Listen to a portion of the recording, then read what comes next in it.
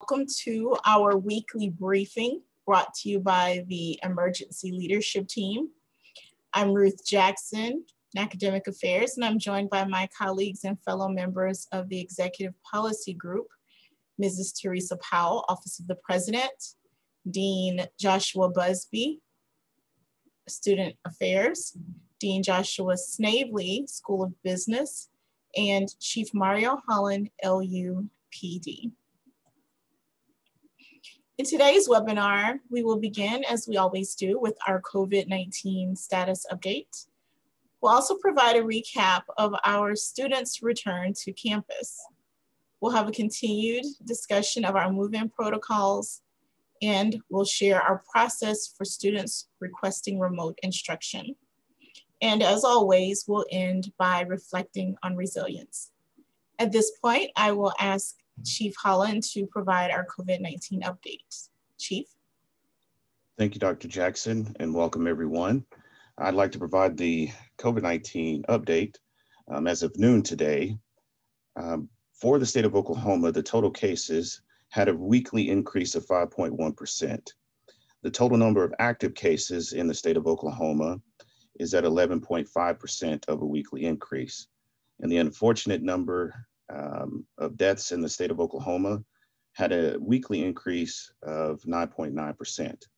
For Logan County, uh, the total number of cases is at 1.9%, and the total active cases for the county had an increase of 19%. And an unfortunate uh, for the deaths in Logan County is at 23.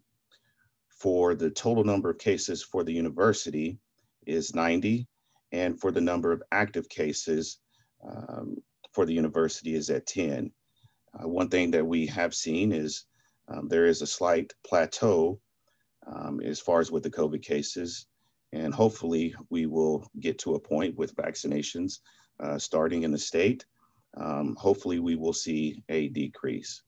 And now with that, I will pass it to Dean Snavely. Thanks, Chief. Good afternoon, everyone. It's a pleasure to be with you. Wanted to start today giving a brief overview of our students' return to the campus over the last uh, 10 days to two weeks. It's been a busy time for them and for us in the emergency leadership team, and we're proud to report uh, the numbers and some of the, the updates here. So during the, the move-in period to date, we've screened close to 1,500 students and guests for um, any number of health different pieces to their return. As a part of that, as we shared last week, we have begun a partnership with uh, an Oklahoma an Oklahoma company named Total Wellness, and Total Wellness helped us to administer during that time frame nearly a thousand COVID tests on students and student athletes who are returning to campus and campus activities. Uh, in that time period, we're we're proud to report that as a result of our protocols, we only saw eight positive cases as a result of the pre-arrival test and the arrival test that uh, Dean Busby and Mrs. Powell will talk a little bit more about here in just a minute. Um, we, we had less than 1% um, positivity rate through this process.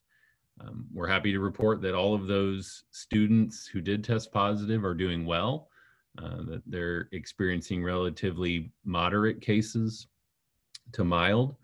Um, and through a partnership with uh, a local hotel, we were able to keep those eight cases off the campus. Uh, so our, our hope here is to create a bit of a bubble like we've seen in some other contexts uh, as we return to, to keep both our students our, and our employees safe. And we believe that our adherence to these really robust protocols has led to really great uh, results, um, relatively speaking, as we work through a pandemic. So those will continue. We'll talk more about those in just a second. We've got a couple of pictures here to show you from that process. Uh, this is an image of the testing that was occurring on Historic Cottage Row. Uh, it was all drive-through testing that occurred before the students were uh, allowed to return to campus housing and given wristbands and cleared through the process. We also had some of our softball players uh, consent to let us take their picture as they got um, that friendly prick in the nose by that long um, Q-tip that I, I, know all of our colleagues here have experienced several times over the last couple of weeks. We we went on a pace of every other day essentially to make sure we were um, healthy ourselves, but also showing the students that we were willing to participate in the protocols. So uh, overall, the process went extremely well, extremely efficiently. We're so grateful to the students uh, who were willing to follow this process, and it's led to a healthy and safe campus as we begin. And so I'll turn it over to Dean Busby to talk about how we're going to continue that process as we have students continue to return to campus. Good afternoon, everybody. Thanks so much for joining us. And so, um, as Dean has stated, uh, I want to definitely uh, thank our uh, colleagues in residential life and housing services, as well as all of the volunteers uh, for helping, because uh, we could not have done it without you uh, January 15th through the 20th in facilitating the move in for for our students. And so I just wanted to say thank you and lead with with with my appreciation to you. I do want to let you know that uh, we've gotten, I'd say, probably about 85 to 90 percent uh, of our students moved into housing. There have been some students that have uh, communicated to us that they wanted to check in a little later. than than that that time frame that we had allocated that we had been communicating since uh, the, uh, the towards the end of the fall semester. Uh, we do want to let you know that Residential Life and Housing Services will continue to accept students for check-in through February 3rd. So that's through the end of the drop and add period. Uh, uh, so again, February 3rd will be the last day uh, that we will allow students to move in on campus. all new residents who are not currently on campus, who are looking to move into campus will have to adhere to the, to the following tests uh, testing related procedures and protocols, which have already been in place. We're going to continue that. Uh, and we'll talk more about these uh, uh in depth on the following slides, but I just want to quickly highlight what those are. Uh, the first one uh, is that every student has to submit a pre-arrival test with negative results. of course, what we're asking is if we need at least for that to be submitted at least 48 hours prior to your arrival. Uh, so if you're planning to move in on February 3rd, the deadline would be February 1st at the absolute latest uh, for us to receive that pre-arrival test. Uh, it would need to uh, be emailed to luelt at langston.edu. Uh, secondly, there will be a arrival test once the student arrives on campus uh, and prior to them checking into housing to receive their key, they will be administered a second test from our partners in Total Wellness. Uh, and then third, uh, once they have been on campus uh, for a, a, certain amount of time, they will be administered a third post-arrival test, uh, uh, of course. And of course, all of these test results have to be negative. I didn't state that, but all of these uh, tests have to be negative. If they're not, then the student will receive further guidance from the emergency leadership team. And with that being said, I'll turn it over to Mrs. Powell, who will talk more in depth about the pre-arrival COVID test requirement. Thank you, Dean Busby, and good afternoon, everyone. Um, first, I want to thank all of our returning students for their participation and adherence to this requirement. Overwhelmingly, our students did exactly um, as we asked. They complied with this requirement and ensured that they provided our um, emergency leadership team with their pre arrival test results timely. And they followed all the protocols that we asked, and that helped us have a very safe return to campus. So, first, I want to thank everyone for for doing that and making our jobs uh, so much easier by giving us exactly what we needed in that the pre arrival test, um, I know we got some questions about this. It may have seemed to some as though it was unnecessary or redundant, but it really became a critical component of the multi layered approach to mitigating the risk of COVID 19. And the reason is because it gives our emergency leadership team a number of data points in knowing where our students are with their health and wellness as they prepare to return to campus. So we asked our students to submit their required pre-arrival test to us via email. They did that by and large. Um, some students were surprised when they received a positive result. Uh, so they sent that to us as well. And we, of course, um, worked with those students to accommodate. Some were early on enough. They got their test on January 6th. They were positive on January 6th. They were able to complete their quarantine and move in before the full move in uh, process had ended. So they had a very seamless process in which they could complete their move into campus. We had some other students who unfortunately were positive as well and maybe got those results a little bit later. And we were able to work with them to accommodate remote instruction as needed. So we're working with them and we'll help them move back onto campus when they are feeling well and healthy and after they've finished their quarantine period. So, again, this was just another layer to that approach in the protocols that the emergency leadership team established to ensure that students returning to our on campus resident facilities were doing so without any detection of the virus. And it worked very, very well. So, we're very proud of these protocols. For those students who are returning for late arrival, as Dean Busby said, we do have a February 1st deadline to receive those pre-arrival tests. We would like to receive a test that was administered within one week of February 1st. So that means clocks are ticking. Uh, February 1st is one week from today. So if you're planning to move in, um, you may want to make arrangements to get that test relatively soon. Some clinics will give you same day results, some clinics take a few days. So please be sure to act quickly if you plan to have a late arrival for move in so that you can have your test results submitted to us at luelt at langston.edu.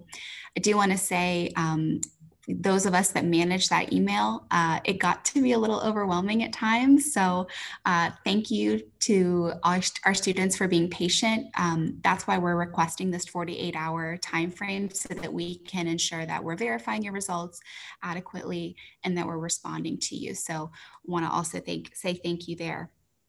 In submitting those results, it's important that your results come to us from a medical provider. It can be a, a, screenshot of your app. We had lots of ways where we were accepting those results. Um, some students submitted a screenshot of the app on their phone that included the result some students were sending us a photo um, or a screenshot of the printed document that they got from their provider, or perhaps a screenshot of their email. We will accept whatever you can share um, that will remain confidential within the emergency leadership team. We just need it to include your name as the patient, the date that your test was administered. Sometimes this is shown as the collection date, and also uh, the result, which needs to demonstrate no presence of the virus or it needs to clearly state negative. So those are the three components that we're looking for in this pre-arrival test. So again, it can be a screenshot, it can be an attachment in a PDF file, um, and email that to luelt at langston.edu. Again, 48 hours prior to your arrival. So if you're coming on February 3rd, we'd like to receive that from you by 11.59 p.m. on February 1st. And we appreciate everyone's adherence to that. And now I'm going to ask Dean Snavely to share more about our arrival test. Thanks, Mrs. Powell, and thanks to you for all of your efforts on uh, monitoring that, being the primary person to monitor those emails. Um, and it, it is it was quite overwhelming and uh, quite a quite a task. Uh, just like we've done over the last several weeks, um, the uh, we will continue that arrival test um, with our total wellness partner slightly different now based on the fact that we are back in school and we have less volunteers uh, and less staff to to accomplish um, this uh, you know goal. So as you can see here, we will accept um, students through housing, and it's really need to coordinate. If you're a student planning to return and from now until February 3rd, you need to be in close contact with the housing folks. Uh, our testing time frame for for those students is 2:30 to 5:30 on on weekdays, um, as identified in that Calendly system. Uh, so reach out to LU Housing to facilitate that appointment, and then we'll be conducting all of the testing over this uh, next two week period uh, in the multi. Students should go to housing first um, and then they'll be directed to the multi after they've checked in uh, with their housing teams. And we continue to use uh, the Binax Now test, rapid test from Abbott Labs, um, and have been in close partnership with Total Wellness and Abbott as we've utilized those tests. Thought it was important that we you know, have these third party relationships to ensure the credibility and the integrity of this process. And that has worked well into our advantage uh, as we've worked to create this mitigated and safe environment. So Dean Busby, you want to talk about the post-arrival test process for folks who are already on the campus? Absolutely. Absolutely. Uh, and so for our uh, students who are on campus, as we talked about, uh, this is the third test uh, that they would, uh, that they are going to be administered. Uh, and so after arriving on the campus, of course, all residents uh, were advised that they would uh, have to secure an additional negative COVID 19 test prior to Monday, uh, February 1st. Of course, great thing about this through partnerships uh, with the institution uh, that uh, these tests are being administered free of charge to our students, the, the second and third tests. So the arrival to campus test as well as the post arrival test is being administered uh, free of charge to the student. Of course, as Mrs. Powell stated, that that first test could have been, uh, uh, you know, could have been free or, or utilized or obtained through uh, insurance, but uh, this is no additional cost to the student. Uh, and so all post-arriving tests, testing for our students that are currently residing in housing on campus will occur beginning this Friday in the multi, January, Friday, January 29th, uh, from 9 a.m. to 5 p.m. And we'll do that on Friday, Saturday, and Sunday. So from Friday the 29th to Sunday the 31st, from 9 a.m. to 5 p.m. daily in the multi, uh, we will be uh, offering those post arrival tests uh, for our students who are currently residing uh, in housing. to make an appointment, and because we, we don't want everybody to flood to the multi, we are asking all of our students to make appointments uh, and so students should follow the link that will be sent out in an official uh, email that, that will go out later this week uh, with additional guidance and instruction uh, there. And so again, this is the third of the requirements uh, that was required for our students who are currently uh, residing and who plan to reside on campus. and so at this time, I'd like to turn it over to Chief, who will talk about an additional opportunity for our faculty and staff. Thank you, Dean.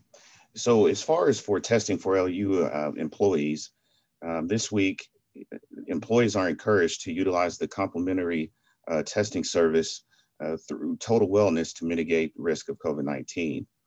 And for the opportunity to do so, the days are Monday uh, through Thursday from 2.30 to 5.30 p.m. and the location is uh, in the multi. And there's no uh, appointments necessary uh, for this week, but um, to get tested um, Monday through Friday from 2.30 to 5.30 in the multi um, is the important days and times and locations to remember. And now with that, I will pass it back to Mrs. Powell to let you know of more testing protocols. Thank you, Chief. So if you are able to visit us in the multi this week, or if you came um, last week, when we offered this testing, we have set up a process for everyone to follow. This has worked very well with our students. We um, had a, a, great number of students come through this process last week as well. And we have set up a process to get everyone in and, and have it flow pretty seamlessly. So when you walk into the multi, the first stop will be these tables that you see in the first photo. You will complete a HIPAA release form that just allows us to have your test results on file um, and to give those back to you. The university will, of course, give you your results directly. You will then uh, follow the stanchions down to the end of the multi. You will come back up a line and form a socially distanced queue, if you will, and you will go to the desk, which is pictured there in the middle photo. That's the sign in desk. And our partners at Total Wellness have made available a sign in sheet that helps them keep track of who they're testing.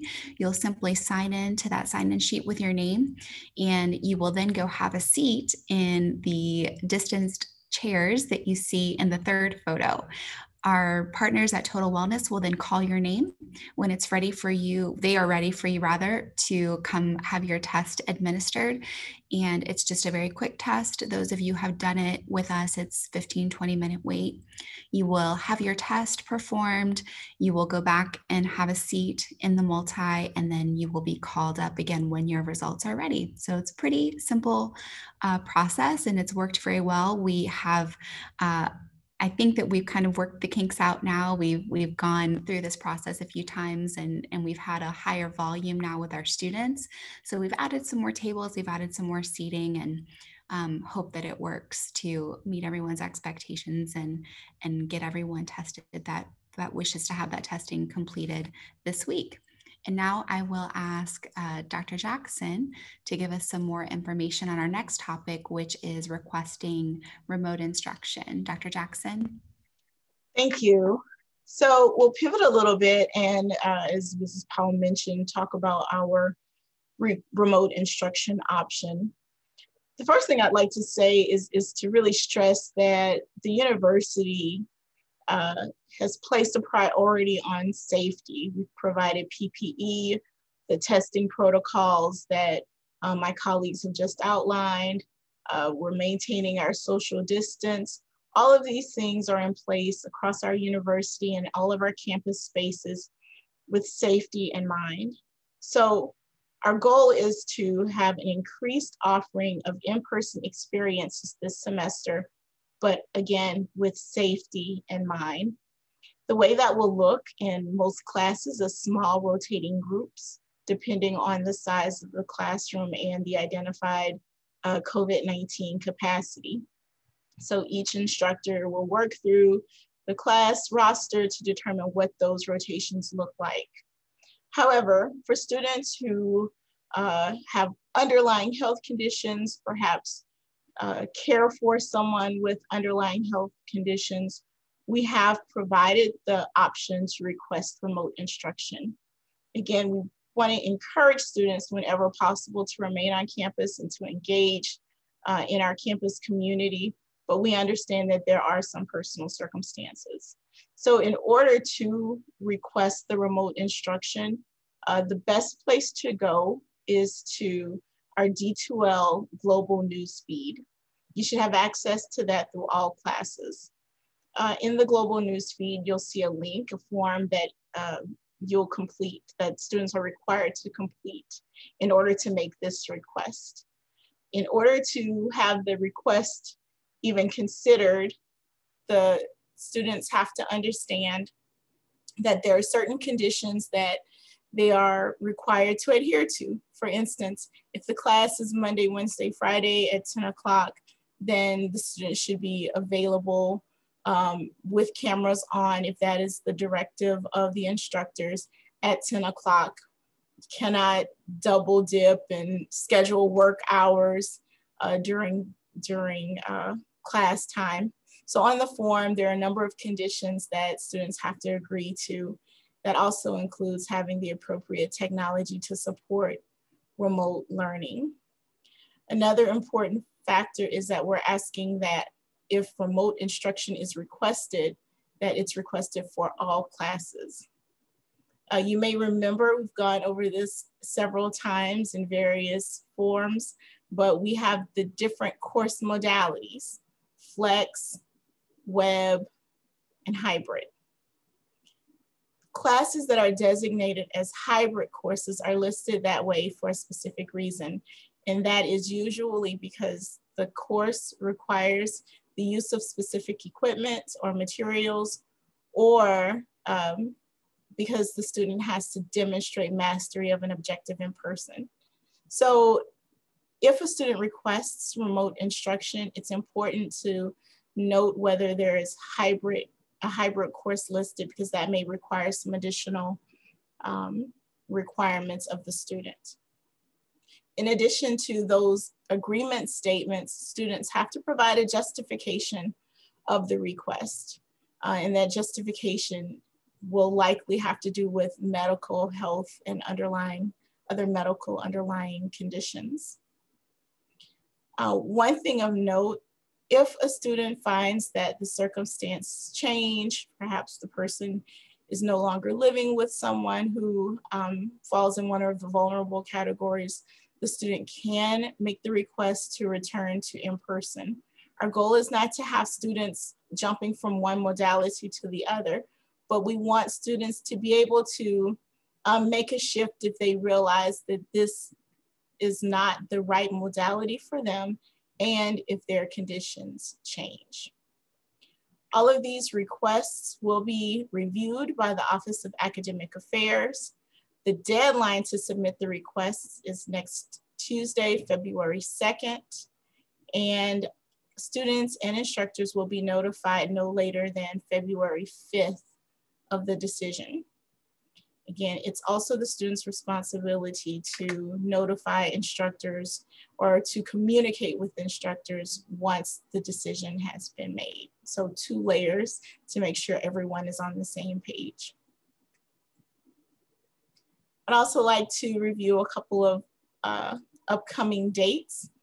Uh, classes started on Thursday. I've heard great things about the first two days of class. Um, the add drop period for classes that are in the first eight weeks, uh, that add drop period ends on Wednesday of this week, January 27th.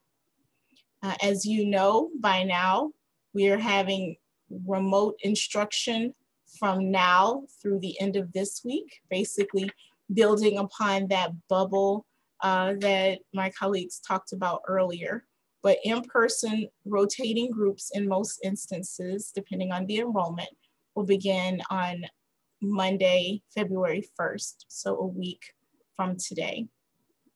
As I just mentioned on the prior slide, February 2nd is the deadline to request remote instruction. And February 3rd is the end of the add drop period for full semester or 16 week classes. As a reminder, our midterm examination period runs from March 11th through the 17th, and our modified spring semester break will be on March 18th and 19th, a Thursday and Friday, and on these days, the university will be closed. So at this point, we'll pause and open the floor for any questions that you may have. If you have questions, please feel free to drop them in the chat or in our question and answer.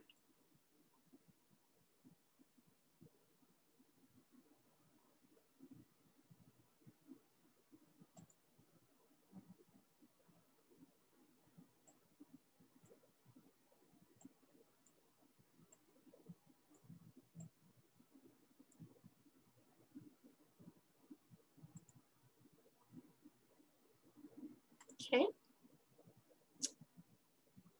So we have one question. Um, in terms of uh, requesting remote instruction, would financial issues be a rationale? So thank you for that question. Generally, the rationale is based on health conditions, underlying health concerns as outlined by the CDC. However, there is a space on the form for students to indicate if there is another uh, reason that they would like considered. And that may require some conversation and communication from my office to the student, but most of the requests will be based on health. Thank you for that.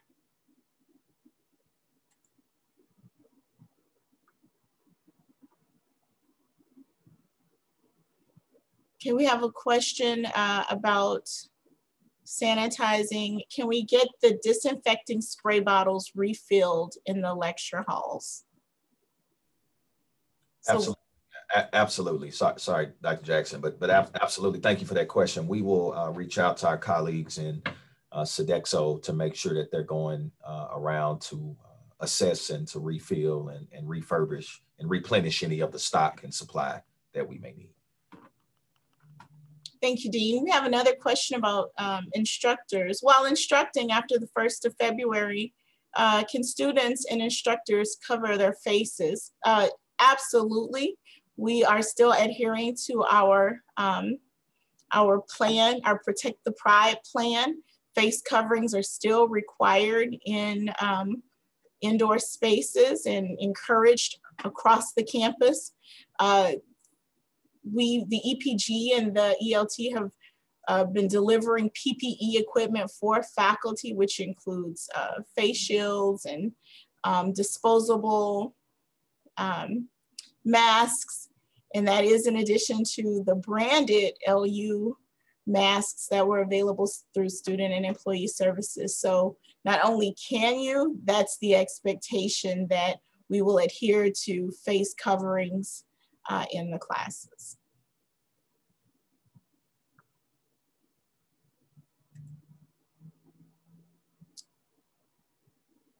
So thank you for that question. So I don't see any other questions. And so uh, we'll move on to reflecting on resilience. One of our favorite parts of our weekly webinar gives us an opportunity to highlight, thank, and commend our campus community for uh, keeping us safe and, and uh, during these difficult times. So what you'll see in the next few slides are pictures of our volunteers, volunteers from across the campus who gave of their weekends and their evenings to assist with what has been a very different move-in process. So as always, thanks to our colleagues in residential life who are always on and, and making it smooth for our students to return. But this time, we just want to say a special thanks. It's no way that we can name everyone, but I'm just proud of the fact that we had volunteers from across the campus. In this picture, you'll see um, uh, Dr. Nisa, uh, let's see, our nursing students, we'll see our coaches, Dean Peterson, Professor Thompson, we have volunteers from, as I said, everywhere. The Office of the President, Academic Affairs, CTI, sponsored programs. Special thanks to AD Rogers and the Department of Athletics. As always, Dean Busby and Student Affairs. Uh, our, our academic deans really, really uh, showed up. So special thanks to Dr. Peterson and Faculty of Arts and Sciences, Dr. Hunter, the faculty, and our student nurses from the School of Nursing and Health Professions, Dr. Patterson Harris, and faculty from School of Education and Behavioral Sciences, Dean Simpson, Dr. Simpson, and our colleagues from the university libraries, faculty from the School of Agriculture and Applied Sciences, our School of Business, admissions, all of these people took the time to show up and welcome our students back with safety first and foremost in mind. And I would be remiss if I didn't also thank our colleagues who were not physically on campus, but certainly tuned in virtually to make sure that our students who showed up had access to enrollment management, financial aid, um, admissions, student and employee services, Special thanks to uh, our advisors in University College, as well as our faculty advisors. So thank you, Mrs. McGill, Dr. Johnson, Mrs. Buckley, and, and everyone who took the time to volunteer. It really makes a difference when families and students see our faces uh, outside of class, letting them know that we're, we're happy to see them back and we're doing so in a safe manner. So I'm sure there'll be other opportunities, hopefully not in a COVID environment, but there'll be other opportunities. So please heed the call when volunteers are requested. Um, please make some time. It, we, while it was cold, we had a lot of fun as well. So that brings us to the end of our webinar. Our next session will be next Monday, February 1st at 12.30, our new time. And the topic of that webinar will be technology. So thank you for joining us. Have a great week. And until next time, take care, Lions.